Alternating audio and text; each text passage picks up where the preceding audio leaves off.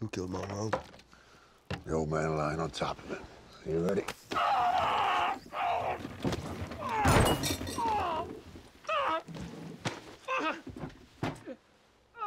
Where's his gun? Mom, where's his gun? Give him the gun, man.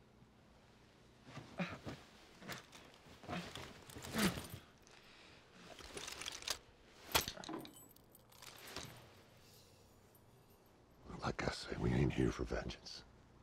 We just need some help getting rid of the bodies Oh, we dead all. and the Bronco. This is all getting a little much for me. I know. Honestly, Bill, honestly, I do. I get where you're coming from. You gotta trust me on this. Otherwise, we're all going down. Your brother, too. You understand me? Now, when this is all over, we have no truck, no bodies, no conviction. Clean and simple. That's how our wonderful system works. I guarantee it.